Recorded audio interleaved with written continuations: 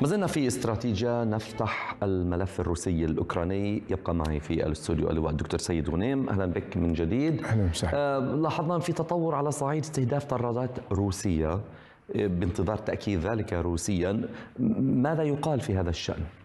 في ما تم ما زال القتال طبعا مستمر ما زال في تقدمات من الجانب الروسي كما ذكرت تكتيكية ما زال الجانبين يقصف بالقوات الجوية وبوسائل النيران المختلفة.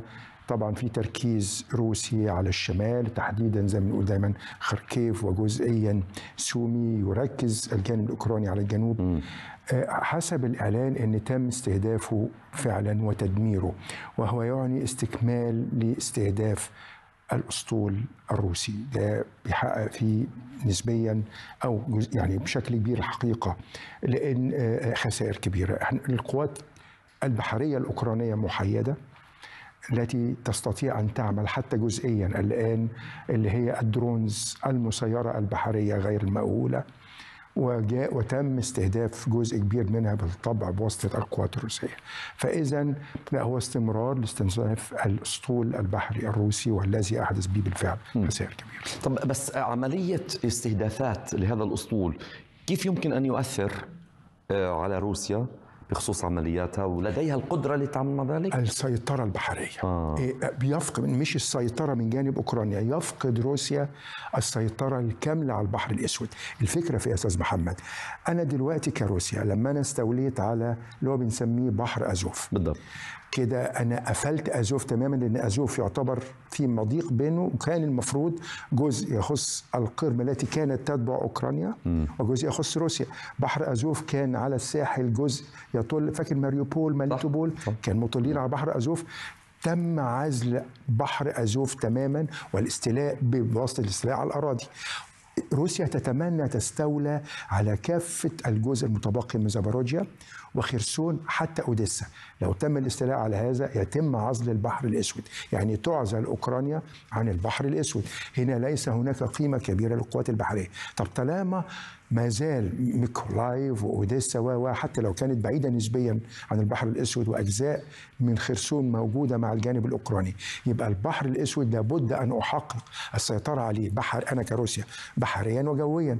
أنا لما يتم استهداف الأساطيل اللي معظمها في سفاستوبول سفاستوبول كما ترى حضرتك الضرب والاستهداف المستمر من الجانب الأوكراني يبقى أنا كده بفقد بالتدريج مع الوقت أي فرصة ممكنة من السيطرة على البحر الأسود. الذي يفيدني عسكريا والذي يفيدني تجاريا لا تنسى موضوع القمح. عندما مسيطر عليه. طيب استعداد هل هناك أي استعداد أوكراني بقوات معينة بخصوص خاركيف؟ كويس فندم. خاركيف في يعني اللي أنا متخيله أوكرانيا تفكر في الآتي. روسيا كل تركيزها من جانبها هي على الصناعات العسكرية صناعات الدفاع. وفي نفس الوقت تدمير قدرات صناعات الدفاع الأوكرانية. روسيا تتم... لذلك حتى وزير الدفاع الجديد الذي ينتمي إلى خلفية اقتصادية الوضع الاقتصادي الروسي. وعايز أصنع لأن العقوبات عاملة مشكلة بالنسبة لي.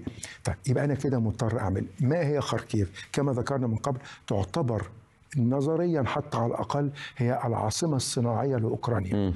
أنا لو استوليت على أجزاء منها منها بأمن زي ما قلنا بيلجورود اللي هو المدينة المتاخمة الهامة بالنسبة لي أنا كروسيا والتي تستهدفها أوكرانيا في العمق بنشئ منطقة عازلة وفي نفس الوقت تمهد إذا استوليت على سومي شمالا نسبيا إن أنا أوصل للعمق الاستراتيجي وهو كييف م. أوكرانيا تفكر إزاي بقدر المستطاع. دفعت قوات احتياط استراتيجي منها اللواء الروسي الحر ذلك اللي هي القوات الروسية المواليه لأوكرانيا وحدات أخرى أوكرانية لتشكل احتياطي استراتيجي جاهز ما هو الاحتياطي والفرق بينه وبين النسق الثاني النسق الثاني ليه مهمة محددة؟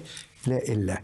الاحتياطي جاهز لتنفيذ أي مهمة فهو جاهز بالقرب من خاركيف للتعامل مع أي اختراق زائد أو ممكن ينطلق في اتجاه سومي في اتجاه الشمال الغربي.